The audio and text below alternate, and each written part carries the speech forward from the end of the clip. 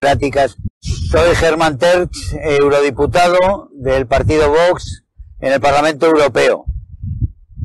Quedan dos días, dos días para que empiece esa farsa descomunal, ese absoluto insulto a la inteligencia que han llamado elecciones en Venezuela. No puede haber elecciones democráticas en una dictadura, no puede haber elecciones democráticas en un país donde el poder arbitrariamente detiene, detiene, tortura y asesina, puede asesinar antes de las elecciones y asesinar después, detener antes, detener después, manipular, puede hacer lo que quiera porque no tiene ningún tipo de control, porque no hay contrapoderes, porque está todo en su poder y puede manipular todo a su capricho.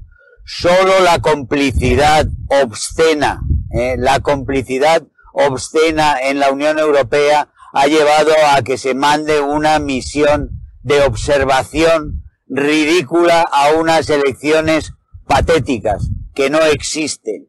Una, misión que lo único que intenta es blanquear unas elecciones que no son, con los fines muy claros de beneficiar al poder y de buscar un levantamiento mayor de las sanciones para que vuelvan a florecer los negocios mafiosos de lo que es la banda de criminales que gobierna en este momento Venezuela y ayudar también a lo que es la maltrecha dictadura y otra banda de criminales que es el régimen cubano. Ahí está realmente la relación entre las dos dictaduras, ahí está en gran parte la razón de que se haya eh, organizado este esperpento que se quiere producir el día 21.